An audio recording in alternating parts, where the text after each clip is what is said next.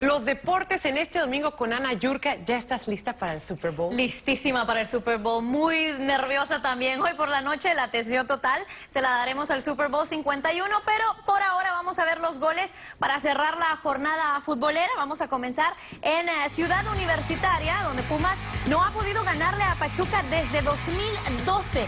Darío Verón anotó merecidamente para los felinos antes del descanso, pero aunque Franco Jara falló un penal rematando de manera muy pobre. Los Tuzos insistieron por el empate y Oscar Murillo lo consiguió con un golazo a cinco minutos del final.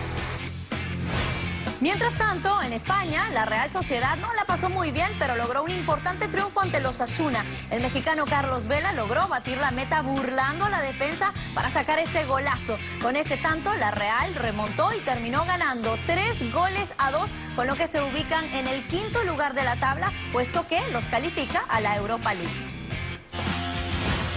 Y en la gran final de la Copa Africana de Naciones, Camerún remontó para vencer a Egipto 2 a 1. Con eso los Leones Indomables clasifican a la Copa FIFA Confederaciones Rusia 2017, completando el grupo B en el que se medirán a Chile, debutando el 18 de junio en Moscú y luego enfrentarán a Australia y a la campeona del mundo Alemania. Así que ya queda todo dado en la Copa Confederaciones, ya tenemos a los eh, rivales completos en el grupo A. Recuerden que ahí está México, así que pendientes felicidad porque eso lo vamos a poder disfrutar en nuestras pantallas. Pues yo te deseo mucha suerte para que gane tu equipo. Por favor, que ganen los Patriots hoy en el Super Bowl. No dudo, no lo dudo.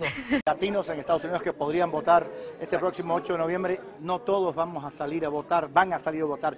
¿Por qué? ¿Por qué? ¿Qué le dirías a, la- a nuestra gente? Bueno, yo creo que eso es precisamente una de las